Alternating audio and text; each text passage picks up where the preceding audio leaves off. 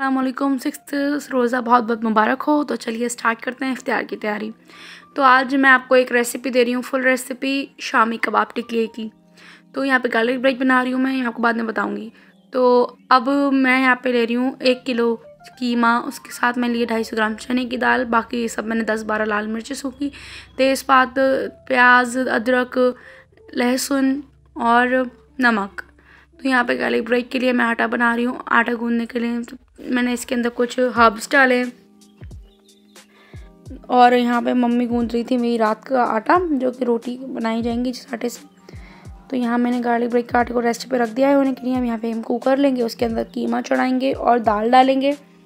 और बाकी जो थे मसाले हमने लिए थे, वो सारे डाल देंगे इसमें और थोड़ा सा पानी डाल के इसमें सीटियाँ लगा लेंगे जब तक कि हमारी चीज़ें गले ना। तो यहाँ पे मैं इसको रेस्ट पे रख दूँगी। अब यहाँ मैं बना रही हूँ दही पापड़ी चाट। तो दही पापड़ी चाट के लिए मैंने यहाँ पे आटा लगा लेना है, मैदा लेने हैं, उसके अंदर मैंने अजवाइन, तेल डाला है और इसको अच्छी तरीके से गूँध लेना है। और गूंद करके इसके पार्टीशन कर लेने हैं। थ्री पार्ट्स में इसको डिवाइड करके आपने इस तरीके से पतला बेलना है। कप की हेल्प से या फिर कुछ भी सर्कल सर्कल हो, उसकी हेल्प से आपने इसको इस तरीके से कट कट करने और फ्राई कर लेना है। और इसके अंदर फोक से आप निशान भी मार दें। और यहाँ चल रही थी पकौड़ियों की तैयारी। फ्रेंच फ्राइज भी बन रहे थे। तो यहाँ पे पकौड़ियाँ जो है वो बन रही थी। ये शामी कबाब का सामान है। ये हमारी एक प्याज लिए हैं।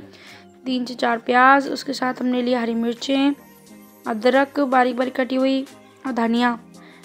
और अब यहाँ पे मैंने जो बचा था आटा, मैंने उसके नमक पारे बना लिए, जो कि चाय के साथ बहुत यम लगते हैं। तो यहाँ बन रही थी मीठी सॉल्ट जो कि बिल्कुल हैंड टू हैंड बन जाती है। अगर आपको इसकी रेसिपी चाहिए तो प्लीज़ मुझे कमेंट करें।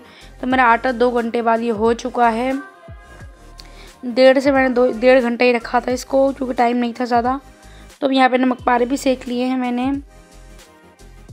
और इनको निकाल लिया एक प्लेट में और यहाँ पे मैंने फ्रेंच फ्राइज़ के लिए मम्मी बना रही थी। फ्रेंच फ्राइज़ को उन्होंने ही बनाया था। तो ये गार्लिक ब्रेड के लिए मैंने ये सामान लिया है। ऊपर गार्लिक बटर जो लगता है उसके ऊपर वो बनाया है मैंने। तो ऊपर से फ्रेंच फ्राइज दिख रहे हैं। तो अब यहाँ पे हमने गार्लिक ब्रेड के लिए मैंने मक्के का आटा यूज़ किया है इसमें। और हमने जो पकौड़ियाँ बनाए हैं, पकौड़ी जो मम्मी बना रही हैं उसमें हमने बेसन यूज़ नहीं किया, उसमें हमने पकौ, मक्के का आटे से बनाई है वो। क्योंकि बहुत ज़्यादा क्रिस्पी मक्के के आटे से होती हैं तो हमने मक्के का आटा यूज़ करा है पकौड़ियों में। तो यहाँ पे मैं दो तरीके की गार्लिक ब्रेड बना रही थी, एक नॉर्मल और एक बना रही थी मैं यहाँ पे पिज़्ज़े वाला। पिज़्ज़ा गार्लिक ब्रेड उसके अंदर मैंने पिज़्ज़ा सॉस रखी थी और वेज म्योनीज रख करके और मैंने इसको प्लेट को अच्छे तरीके से इसके अंदर मैंने प्लेट के अंदर बटर लगाया, थोड़ा सा मक्के का आटा डाला और गार्लिक ब्रेड को अपने बेक होने के लिए रख दिया। और फिर जल्दी जल्दी मैंने सफ़ाई करी क्योंकि बहुत ज़्यादा फैला हुआ हो गया था तो मैंने उन सॉस जो थी वो मैंने फ्रिज में रखी जाके अब पूरा जो हमारा मैंने सफ़ाई करी यहाँ की, स्लिप की और पकौड़ियाँ भी बन चुकी थी। अगर आप मक्के का आटा यूज़ करते हो तो आप देख सकते हो कलर भी बहुत अच्छा आता है और क्रिस्प भी बहुत अच्छा आता है पकौड़ियों में। तो ये हमारे जो चने थे, वो कल के बच गए थे तो हमने इन्हें दोबारा से गर्म कर लिया था। यहाँ पे कट रहे थे फ्रूट तो मैंने यहाँ पे दस्तरखान लगा दिया क्योंकि गार्लिक ब्रेड बन गया, दही पापड़ी चाट भी मैंने बना ली थी और फ्रेंच फ्राइज़ बन चुके थे, पकौड़ियाँ बन गई, सब चीज़ बन के तैयार थी मैंने फ्रूटी और ये फेंटा मंगा ली थी। यहाँ पे दुआ कर रहे हैं पापा और ये अब्दुलरहमान तो अब जल्दी से दस्तरखान बिछाया और दुआ करी। और एंड में अगर आपको गार्लिक ब्रेड का एक चीज़ पॉल होते हुए देखनी है तो आप तो वीडियो के एंड में मैंने वो डाला है तो आप जा कर के देख सकते हैं। तो यहाँ पे हमने धनिया फ्राई कर लेना है तेल के अंदर। करके तो आप ज़रूर देखिए, चीज़ पुल होते हुए बहुत मज़ा आता है। तो यहाँ कबाब के लिए हमने क्या करा है, धनिया लिया, धनिया को फ्राई करके निकाल लेना है साबुत धनिया। तेल के अंदर थोड़ा सा।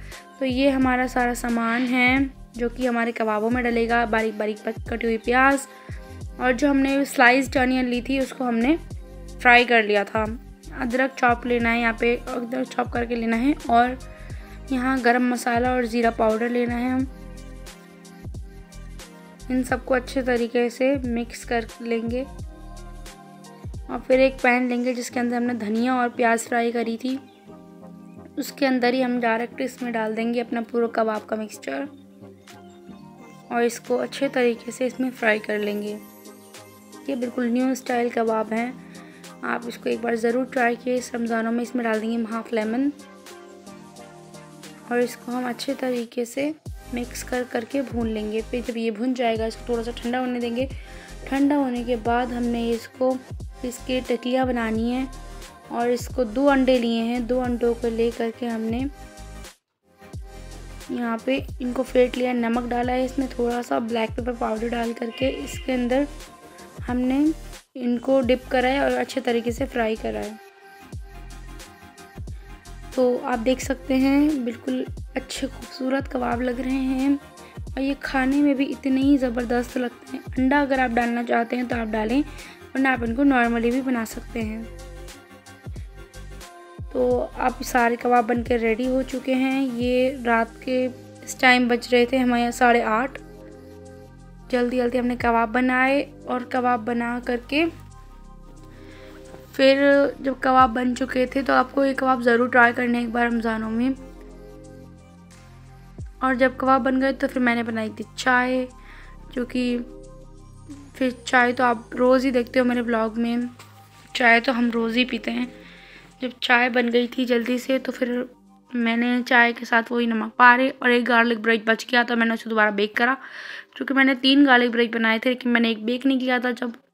और दो मैंने अख्तियार में बेक कर लिए थे तो मैंने पी थी ग्रीन टी बाकी सबने पी थी चाय। तो यहाँ पे चाय मम्मी केतली में से कप्स में निकाल रही थी और सबको दे रही थी। तो अब या अब वो आता है, वो वाला पल जो मैं आपको बता रही थी, जो कि बहुत ज़्यादा सेटिस्फाइंग होता है। इसका चीज़ पुल देखना। तो देख सकते हैं कितना अमेजिंग लग रहा है दिखने में। तो चलिए, चलती हूँ नेक्स्ट व्लॉग में मिलती हूँ। अगर पसंद आया हो तो मेरी वीडियो को लाइक करें चैनल को सब्सक्राइब करें। तब तक के लिए अल्लाह हाफिज़।